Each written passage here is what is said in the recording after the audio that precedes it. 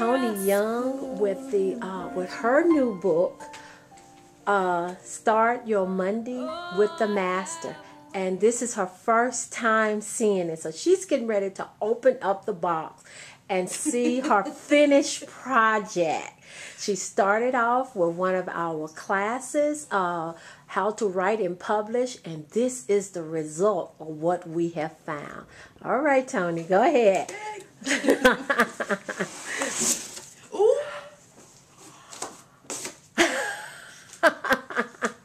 oh my goodness. It's a book. Yes. It is a book. Wow. It's a book. Oh my goodness. What do you think of your finished Judy, project? this is a book. yes, it's a book.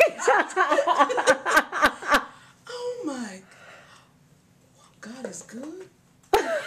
And printers are amazing. oh my god. I saw that book yesterday. I just wanted to scream. I mean, just looking at the manuscript in the beginning and look at your finished project. This is beautiful. Oh my God. Wow. Thank you, Lord. Thank you, Lord. Thank, thank you, Lord. you could ever ask, ever ask for. Amen. For the sales of her book. Oh, I have waiting for you. Thank you. More than you could ever ask. More. So tell our listeners or our viewers. I was used to being on the radio, so now we're doing another thing. Tell our viewers a little bit about the book and why would they want to purchase it? Well, this is for any person that's in the field of education, and it doesn't matter what grade level or what area that they're that they're in.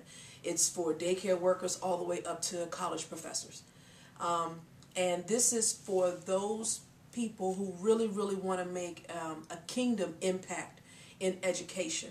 It is to help the believers to understand that there's more to their job than just teaching.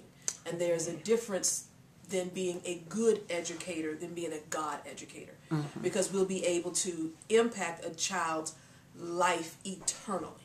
And so that's what this book really is about. And it, and it walks, it is very real, it's very candid. Um, I was very open. Some of the emails that I, you know, chapters that you'll read in here were coming from, you know, weeks that I were feel I was feeling really, really discouraged. But all teachers go through that.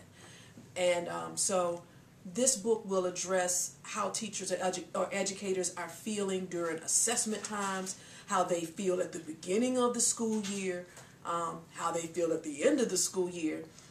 All of those things that any educator goes through, I believe that this book really will change your life as far as making you really seek God first in everything in education. That God is just not reserved for Sunday. He really can take him into the classroom and make a difference.